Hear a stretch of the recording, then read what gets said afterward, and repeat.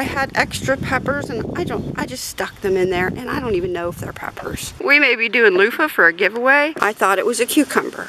This is not a cucumber. There's something crawling on me. Now, if you're in need of loofah, I think I'm gonna be your girl. And then sunflowers with no heads. Tips from Michelle. Dog hair. Hashtag shed wars. I don't have a lot, but every little bit counts. Hi everybody, welcome back. Today, I thought we could do a garden check. Do a garden check with me? I'm gonna be able to harvest some today too. So hashtag shed wars, hashtag team woodcutter. Let's start with the tomatoes, okay? Let me get the dog out of the way. I had a fungus on the tomatoes. So what I've done is there's no leaves touching the dirt, none. I've been babying these tomatoes and taking care of these tomatoes because they had a bad start to start with. But as you see, we are getting some tomatoes. Look over here. So we're getting we're getting some tomatoes. So we will have tomatoes this year and there's one over there too. Do I know what they are? No. Don't. Remember we didn't label the plants. No, okay, we, I. But there's quite a few tomatoes in here. So I think I was able to save the tomatoes. I sure did baby these things though. I really did. Moving on to the peppers. Now we have a Victory Mystery Garden, don't forget. Don't know what kind of peppers we planted. Not sure what that is. Not sure. But as you see over there, we've got peppers coming. And we're still waiting on these little guys. Oh, there's a pepper coming there. All right, here's the pole beans in the sunflowers. I put sunflowers on the end of the beds just because I wanted to. But we've got pole beans happening over here. Over here, more sunflowers. And these are the dragons, I think it's dragon's tongue from Baker's Creek that are purple. I did pick some of these, I'll show you later. But they're coming purple. Can you see that? Purple. And they taste pretty good too. Moving on, we have more peppers.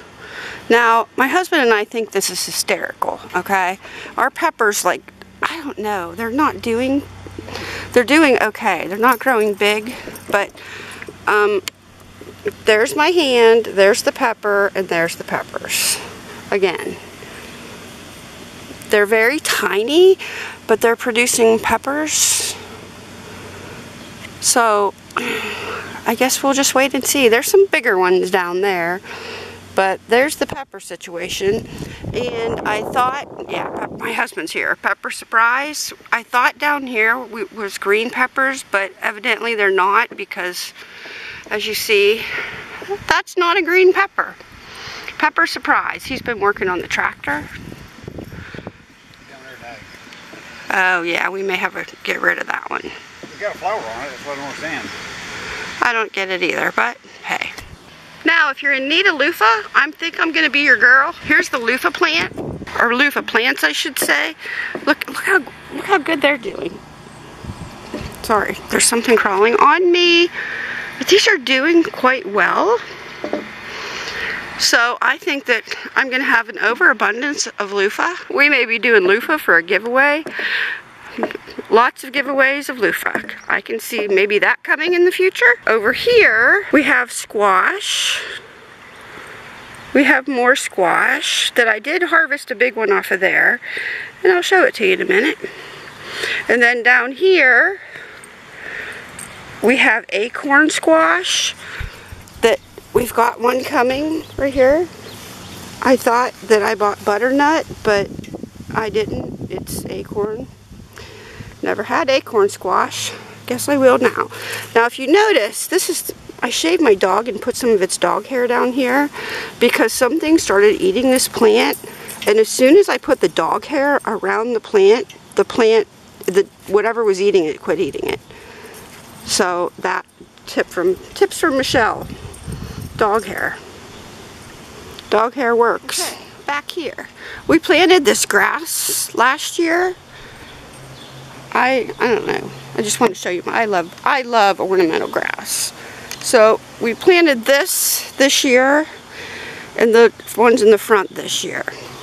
And I've been watering those quite good. I just love ornamental grass.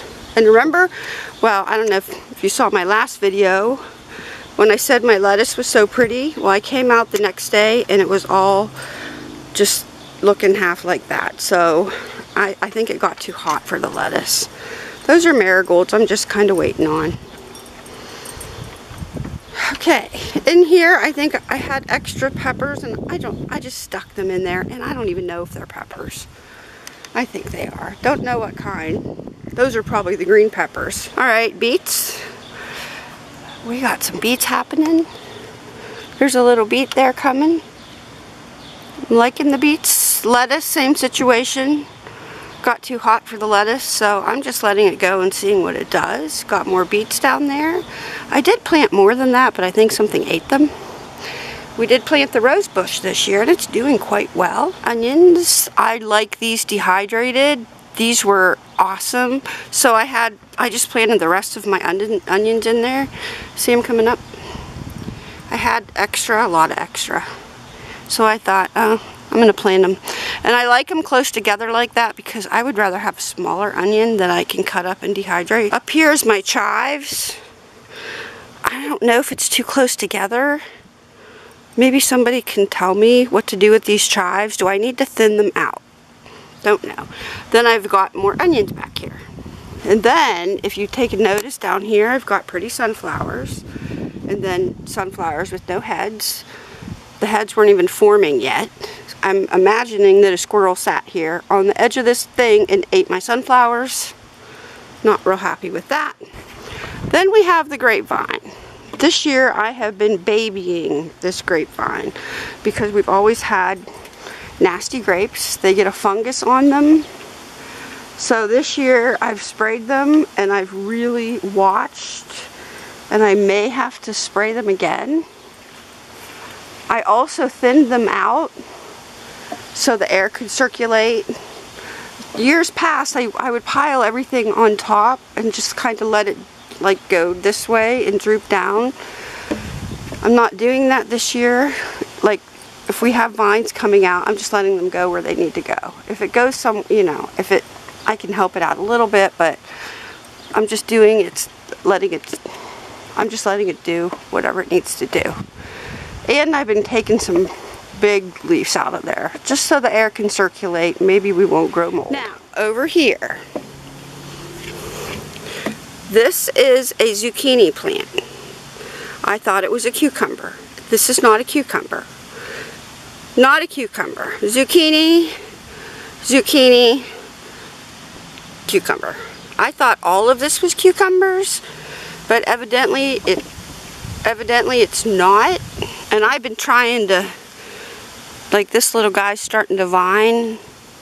So I've been trying to keep them to go up the trellis. And these we're just going to let bush out into the yard.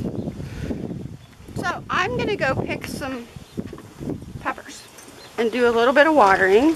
And when I'm done, I'll show you our harvest. Hashtag Shed Wars.